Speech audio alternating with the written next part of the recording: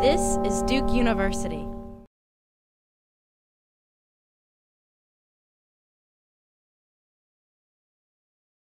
Uh, my name is Chris Timmins. I'm a professor in the economics department, and as they said in the introduction, my main focus, my main area of research is in environmental economics. Um, and over the past couple of years, I've gotten much more interested in shale gas development, and that's what I'm here to talk to you about today. Um, in particular, I'm here to talk about a, an important aspect of shale gas development that has significant impacts on housing markets and local economies. Um, and in particular, I'd like to tell you about how housing markets react to the risk of groundwater contamination. And that I put some emphasis on the word risk um, for reasons that I think are apparent after the last couple of talks and um, should become more apparent as I, as I go through my talk today. Um, I'd like to begin as well by noting that my talk is going to be based on recent research that I've done with colleagues at Resources for the Future in Washington, D.C and at the Environmental Defense Fund in New York. And if you're interested in more details about our work, you can get them um, by finding this paper. It's available online. Okay. So to start off, I'd like to note that hydraulic fracturing and shale gas development, probably more than any other source of energy, raises a variety of difficult policy questions. And this is because it constitutes a mixed bag of advantages and disadvantages. Um, as we've heard already, some of the most notable advantages include less pollution in particular um, than burning coal, uh, a stable domestic supply of energy, um, the possibility of job creation, as Jesse talked about in the first talk, um, and that's a complicated question when I teach um, the, the employment effects of environmental regulation. We spend a lot of time talking about when creating new jobs is good and when creating new jobs actually creates distortions. Um, so in particular, that's a benefit in, in periods of economic downturn, which has been the case recently. So I think that that argument has played well. Um, and then finally, uh, there's a large benefit from royalty payments, at least in the US, where um, landowners often, but not always, own the rights to their minerals. Um, they can sub receive substantial payments in exchange for um, making their land available. But the impacts of shale gas development are wide-ranging, and, and there's a number of important disadvantages to take into account as well. So the biggest, or one of the biggest, is probably air pollution, both locally and in terms of greenhouse gases, if um, fugitive methane is not properly contained and captured. Um, locally, there's noise and light pollution, which can be substantial. There's truck traffic and the many costs that come along with that, hauling large quantities of water in and out. Um, and that also brings up the issue of extensive water use in and of itself, um, three to five million gallons of, of fresh water per uh, frac. Um, in states where um, drought is a concern, that can be a, a big issue. But my uh, talk today is going to focus not on any of those um, concerns per se, but rather on um, one very important one, which I think is the potential for groundwater contamination. And I, again, I highlight the word potential, and um, we'll come back to why, why that's the case in just a few minutes. So this possibility can arise at various points in the hydraulic fracturing uh, and shale gas extraction production process. Um, it, can, it can result from methane leakage from underground formations. Um, this would be the exploding sinks we saw earlier. Um, maybe more worrisome is the potential for escaped uh, fracking fluid and radioactive and highly saline produced water comes back up out of the ground um, after the fracking process is complete that can escape through compromised pipes. Um, and then finally, the potential for improper disposal of that produced water once it's come out of the ground. So there's scope for regulation at all of these phases, and it's important to keep that in mind when I get to my conclusions. Okay. So the evidence for actual groundwater contamination, at least from my reading of the literature, is actually pretty scarce, um, although there have been some documented cases. Um, so, for instance, there are cases that have been reported to local state agencies. The Associated Press recently ran a story about this. Um, the EPA has identified um, contamination from both methane and from fracking fluid in a couple of places around the country. And uh, researchers here at Duke have found evidence in the Nicholas School, primarily looking uh, at methane uh, contamination. However, and here's I think the most important thing for my talk that I'd like you to take away, is that whether there is actual evidence of current contamination or not is to some extent irrelevant.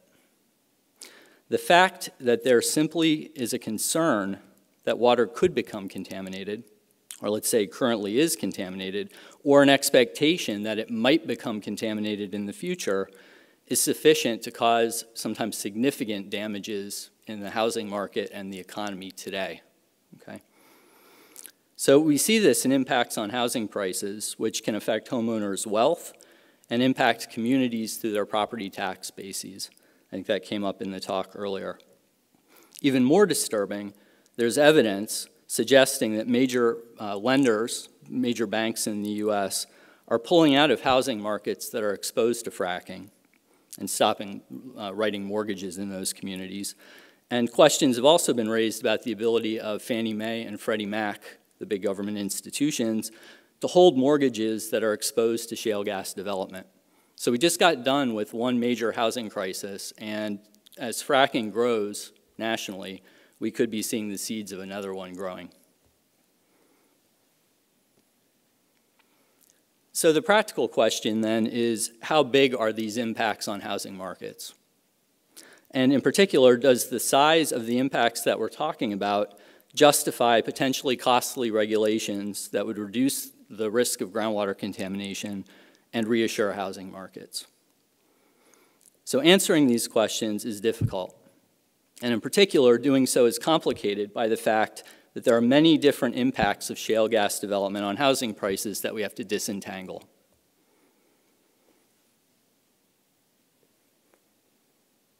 Sorry, we lost a little bit of the formatting there, but I think you'll get the idea. So in order to describe how we do this disentangling, we're first going to consider the impacts on house prices from the introduction of a new shale gas well. And in particular, I'd like you to consider how those impacts differ with a house's water source.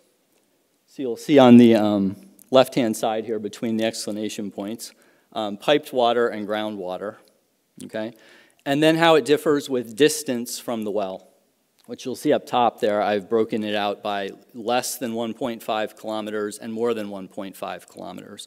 And those are distances that tend to come out of our research as being relevant for the way impacts hit, uh, hit housing markets and hit houses, okay?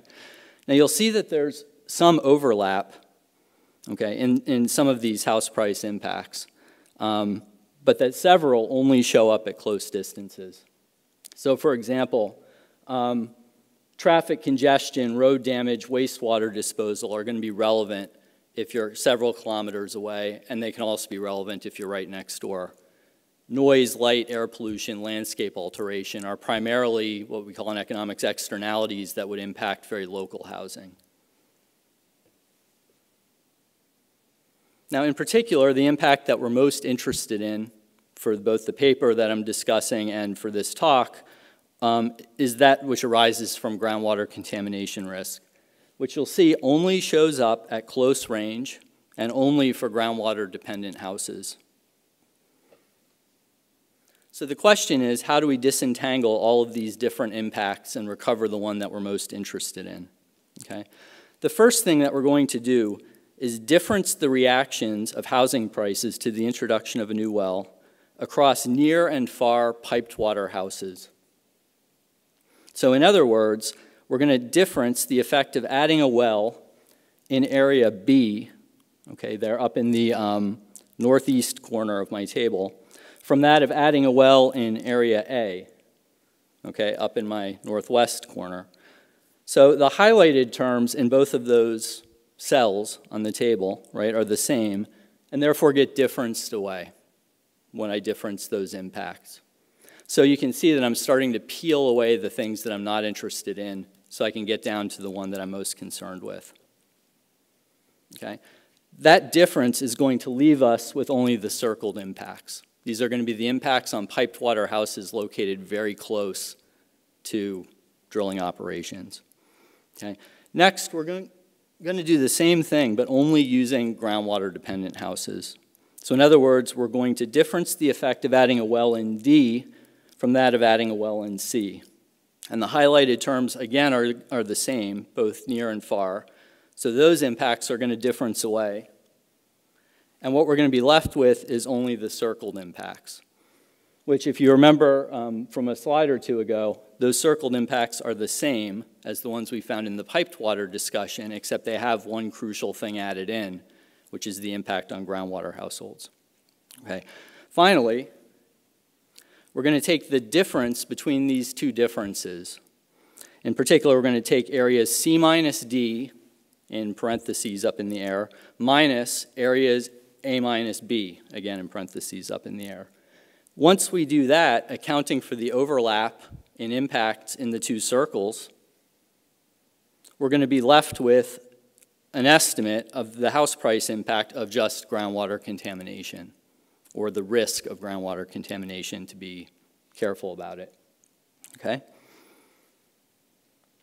So we estimate this model using rich data on housing transactions that we've collected from Pennsylvania and from the bordering counties in New York where there's currently a moratorium on fracking but those counties provide us with a nice control group, neighborhoods that look similar to neighborhoods in Pennsylvania, but where fracking is not legal.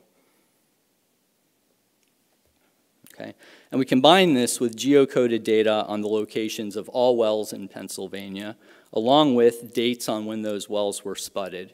So we know how they relate to the dates of the housing transactions, information about whether those wells were producing or not, Okay, not all wells that get drilled actually go into operation. And importantly, you don't get paid royalties unless there's actually gas coming out. Um, and then finally, we've, we've actually got information about whether the wells are visible from, this, from the centroid of each housing property, which is interesting if you want to check to see if the, the costs we're finding have anything to do with visual disamenities, which they, they, it looks like they do. Okay, so using these techniques, the first thing we do is isolate the impacts on nearby houses that are specific to piped water house, piped water homes. That would have been the, the circled impacts on, in the northwest corner of my table a few minutes ago. So combining the costs of noise, light, air pollution with the disamenities of landscape alteration and the benefits of lease payments, okay, we find evidence actually of small benefits for those houses that tend to range between 5.7 and 6.6% of value, depending upon how far away from the well you are, within a kilometer or a little bit more. So that's a net effect, incorporating both disamenities of being nearby, something unpleasant, and probably getting paid for, for gas coming out of the ground.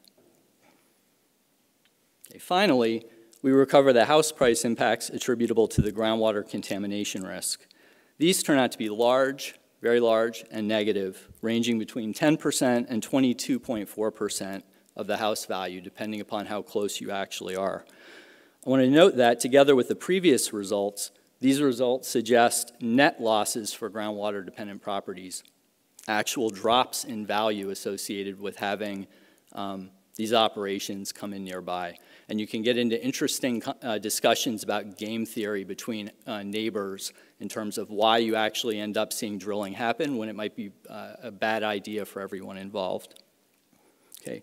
Most importantly, though, I'd like to leave you to consider that these results suggest okay, that there may be significant gains to be had from policies designed to reduce groundwater contamination risk and convince housing markets that the water supply in areas of shale gas development is in fact safe.